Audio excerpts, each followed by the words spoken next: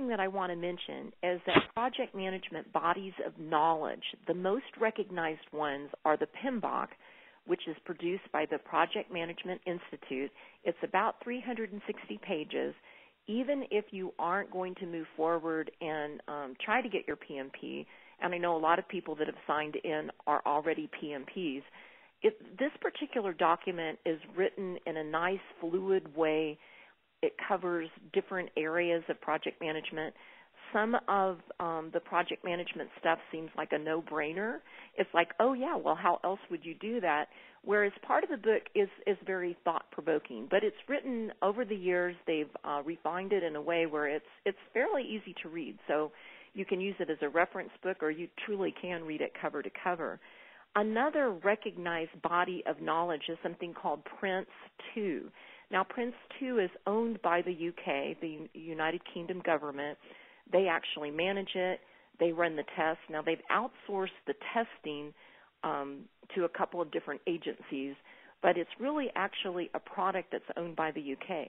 What's kind of fun about Prince 2 is that many of their forms and many of their ideas are simply public domain.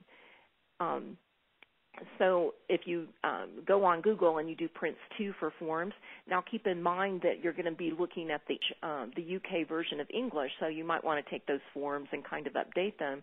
But a lot of times, just looking at different forms for project management help you be a little bit leaner. Um, the other document, the other most recognized body of knowledge right now is something called ISO, and there really should be a space there, 21500. Now, this is a project management guideline.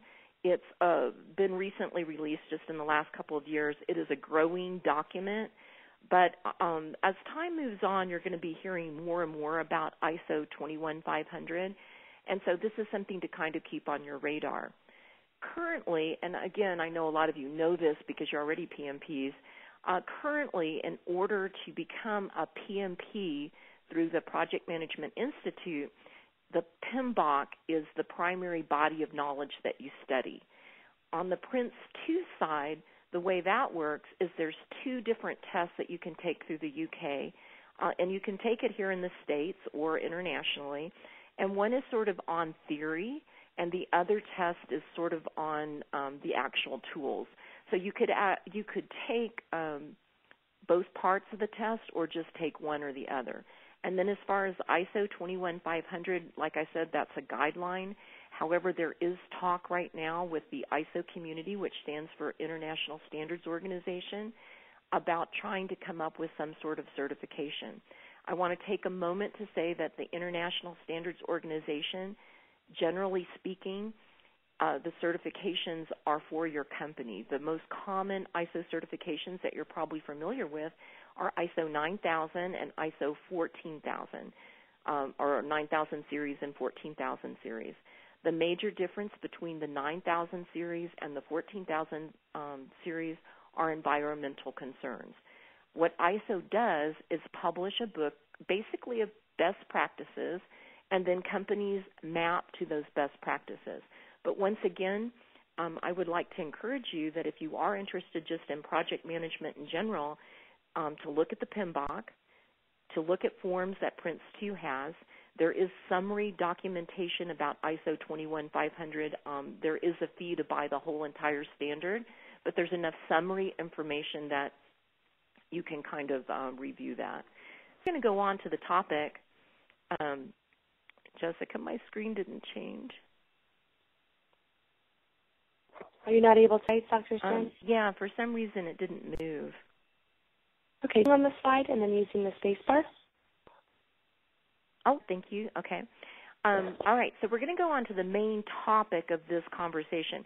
The, the bodies of knowledge that I just talked about are the main thing about project management. So, you know, uh, the idea of project management in general. Now, lean projects, which incorporates lean and Six Sigma thinking, even though it's just called lean projects, the idea is that these projects are better, faster, and more cost effective. Now, the first thing I want to say is that in basic project management, they will tell you that, uh, and this is like a common paradigm in project management, that projects, if they're better and faster, they're not going to be cost effective. You can, um, so let's say you want to do a project for your company. So um, you would ask them, well, what's more important to you? Is it is it important that it's cost effective, that it saves you some money, and that it's faster? Because if you want those two things, then you're not going to get quality. Um, if you want something uh, to be quality and faster, it's going to cost you a lot of money. Lean projects believe that, it, to a certain extent, that's true, but that you could do lean projects that are better, faster, and more cost effective. This is probably the most important slide of the entire presentation. We're going to use the word better to represent quality.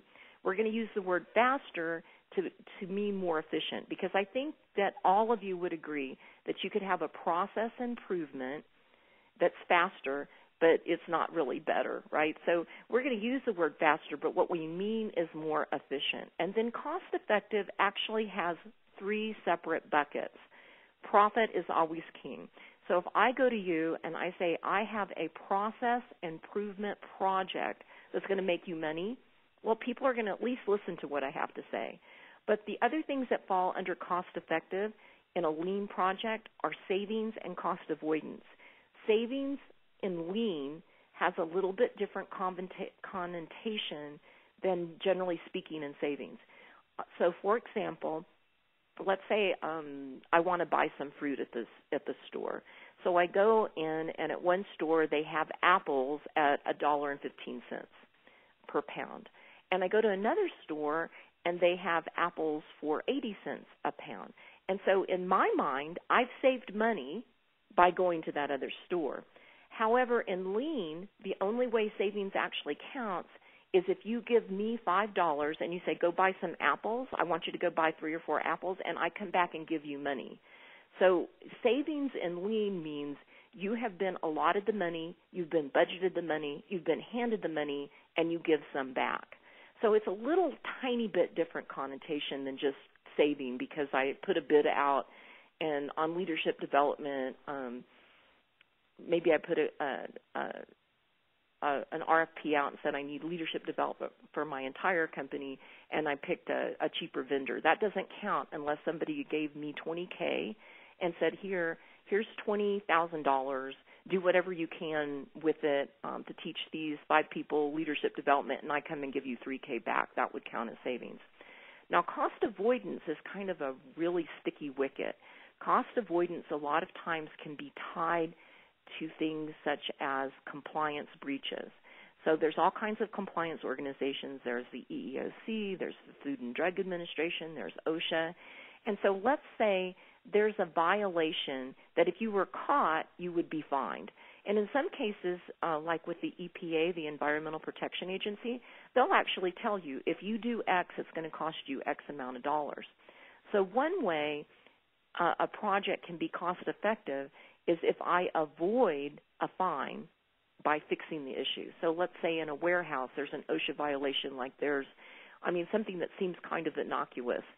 Um, there's a ladder that's sitting inside the area where you're um, supposed to be able to walk. So I've taped off an area where you're supposed to be able to walk, and there's one of those massive ladders just sitting in the sitting in the aisle. That's actually an OSHA violation, and if you were in the process of an OSHA audit, you actually could be fined up to $20,000 for that ladder. So it sounds kind of funny, but I've avoided spending. Another time that cost avoidance comes into play is if sometimes someone ends up spending a little bit more up front because they'll spend less down the line. So, for example, um, in IT projects, a lot of you already know that um, if you're implementing an enterprise-wide IT project,